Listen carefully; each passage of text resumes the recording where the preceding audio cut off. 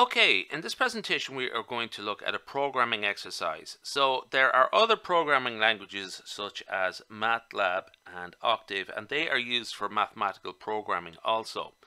So these programming languages, MATLAB and Octave, they have a function fix and this function rounds each element of the input x to the nearest integer towards zero. So this essentially truncates the numbers in x by to integers by removing the decimal portion of each number. So for positive numbers, the behavior of fix is the same as floor, and for negative numbers, the behavior of fix is the same as ceiling. Now, when I'm talking about integers here, I'm just talking about them in the numerical sense rather the data type. So we'll just keep things simple here. Uh, this presentation is really aimed towards students of mathematics and engineering and first year computer science who are just sort of getting started in this in programming and mathematical computing. Just as a quick remark, I'm using Jupyter Notebooks, as you can see there at the top, and I'm using Julia version 1.6.1. Okay, now the exercise here is write a function that replicates fix, uh, implements fix in Julia. So what we have here is our test inputs A, B and C, two single values A and B, one positive, one negative, and also C which is a vector there, a four element vector, which comprises a mixture of negative numbers and positive numbers. Okay, now it actually says it's a float, and we're also talking about integers. We're not really focusing on types here, it's just the outputs, the numerical outputs, rather than the types. Okay, so there we go, uh, A and B. So let's just check the floor function and ceiling function. So what I'm going to do there is write a combined function that just gives you the floor function and ceiling function of A. The floor function there of a is minus 2. The ceiling function there is minus 1. Okay.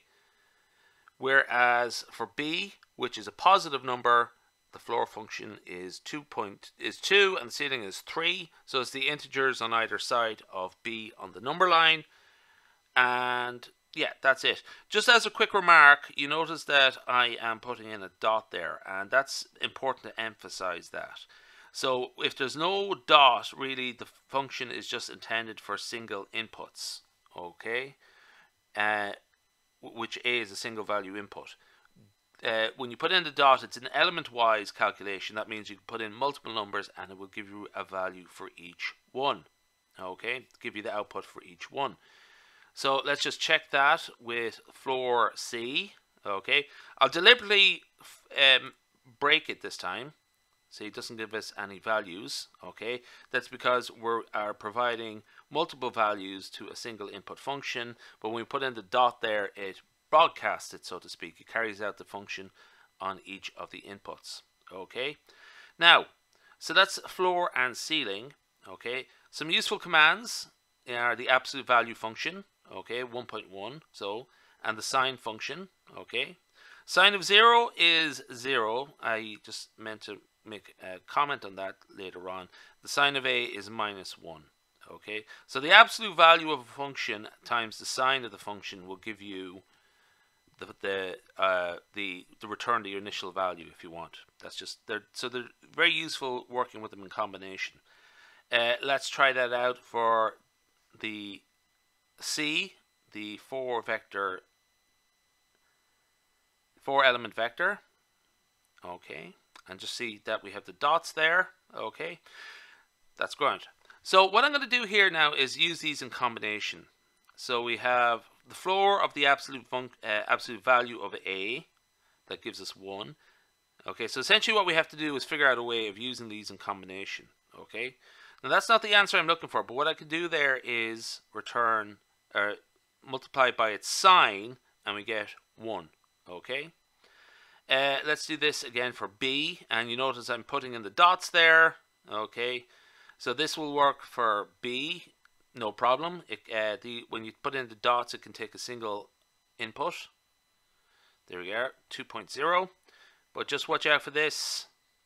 Be vigilant. I'm, I'm about to do something wrong. Okay, I need a dot here at the multiple, at the multiplication op operator there. Okay. So that actually gives us what we want. Okay, so essentially we're ready to write our function now. Okay, we don't have to worry too much about types. I'm happy enough just to take this as the output, just the numerical values. Okay. Now, correctly, it's essentially they are numerically the same as integers, and as far as I'm concerned, that's all we need. So here's our function. Okay. So the function uh, uh, to call to define the function called fix, which has a default input of zero, and this is our calculation there that we just devised. Okay. And then the end statement there at the end. Okay. So fix of A minus 1 fix of B 2 and fix of C. There we go. Now just something that you can for extra emphasis you can put in the dot there as well Okay, I'm slightly over exaggerating that um, that issue of having the dots around the place just to sort of uh, account for multiple value inputs. But it, if you're not familiar that with that from other programming languages, let's say you're coming from Python or R, this is something you have to get used to. So I'm sort of overdoing it with the dots. Okay. Okay, that's grand. We'll leave that there.